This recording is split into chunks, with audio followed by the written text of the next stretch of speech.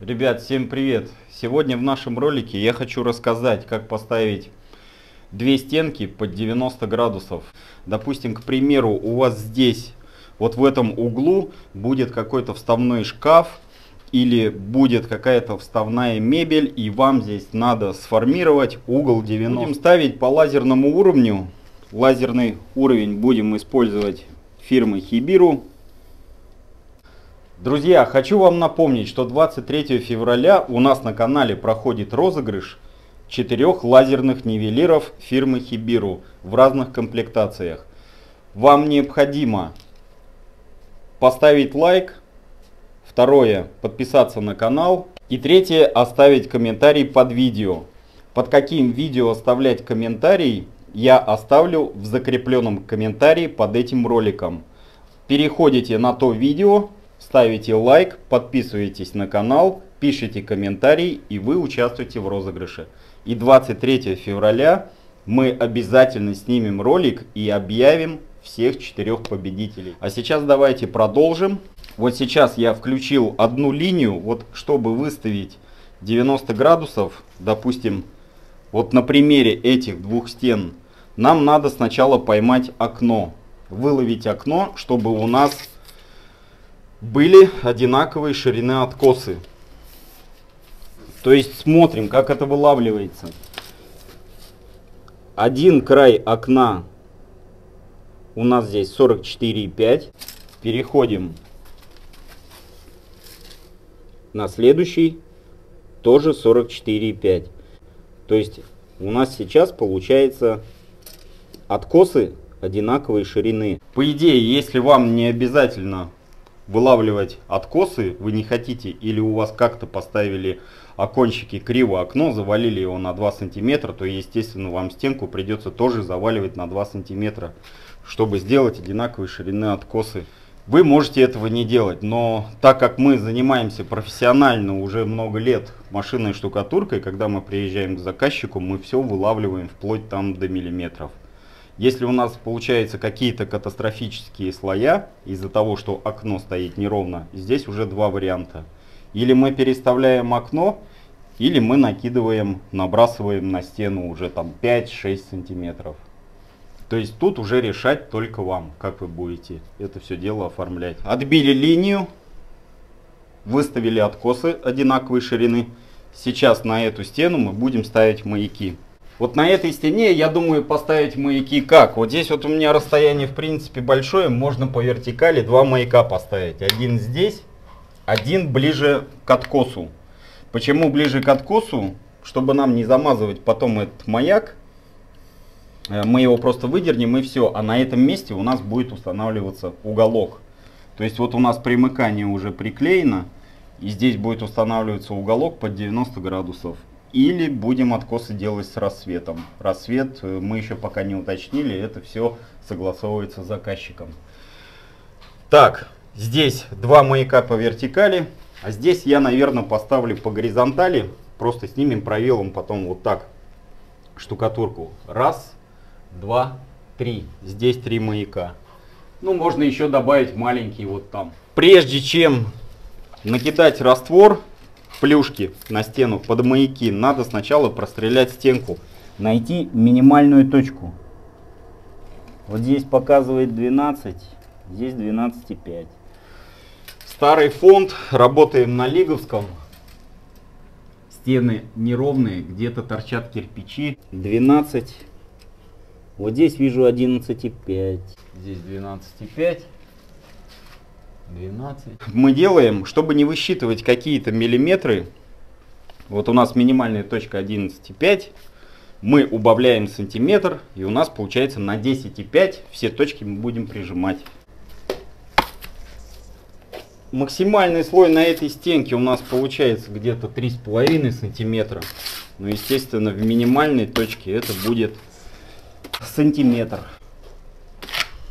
Наверное, все-таки я решаюсь ставить 4 маяка по горизонту кинуть, чтобы было удобнее работать. Потому что высота у нас тут свыше 3 метров. Старые фонды приходится делать раз в год. Вылетают такие объекты. Маячки в квартирах для штукатурки мы будем использовать 6 миллиметров. Сейчас нарезаем маяки горизонтальные.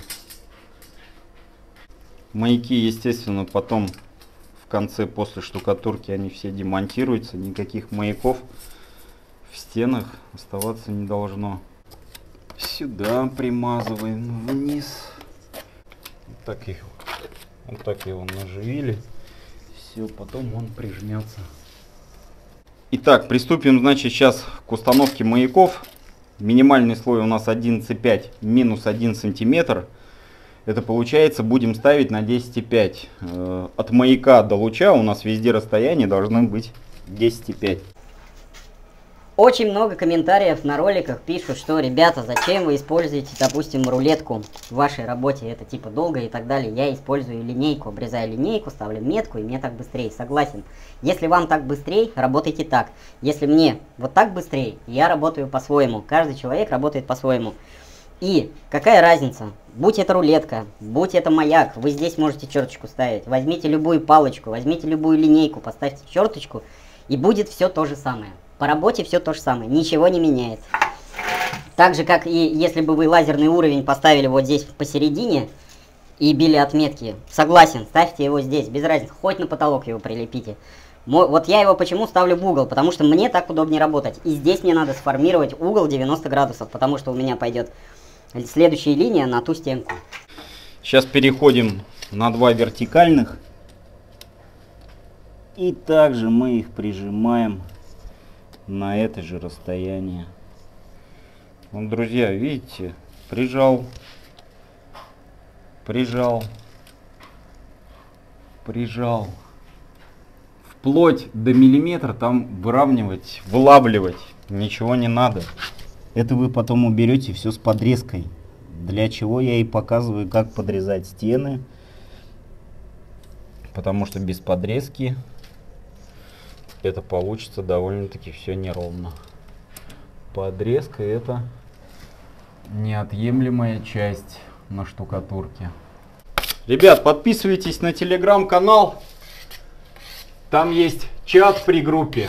Если есть какие-то вопросы, общайтесь, пишите, я отвечу. Итак, друзья, сейчас приступаем формированию углу 90 изначально, значит, что мы сделали? На этой стенке выловили окно, чтобы у нас были одинаковые ширины откосы с этой стороны, с левой стороны, с правой стороны, сверху, чтобы не было никаких морковок. Если вы сделаете морковку, это будет потом видно на откосах.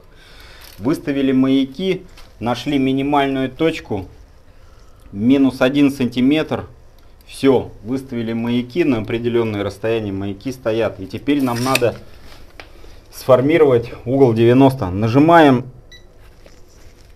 на кнопку в лазере и все, у нас как бы уже угол 90 есть. Все, он будет после того, как вы выставите на этой стенке маяки, угол 90 будет. Здесь в принципе все то же самое делать. Ищем минимальную точку, минимальную точку на стене.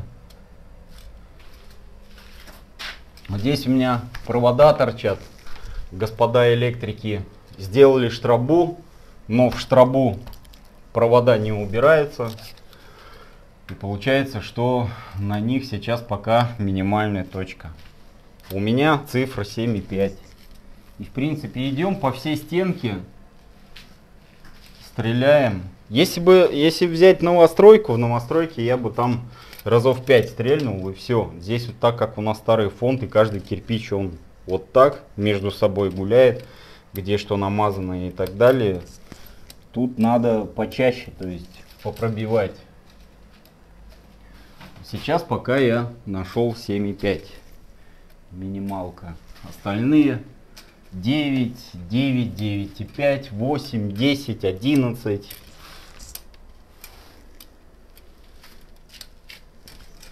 Все, минимальную точку нашли на этой стене. И также поставили маяки, как я уже говорил.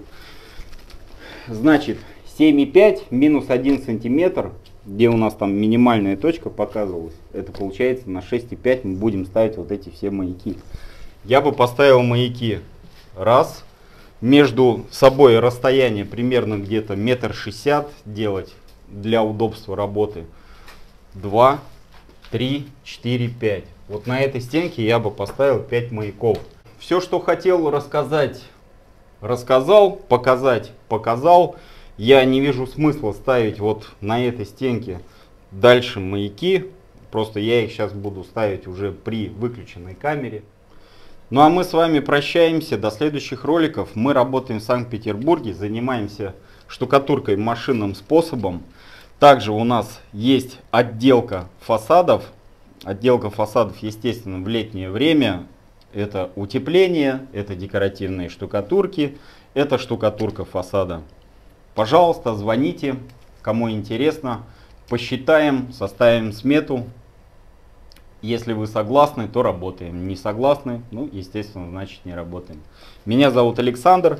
Номер телефона оставлю также в закрепленном комментарии. Всем пока.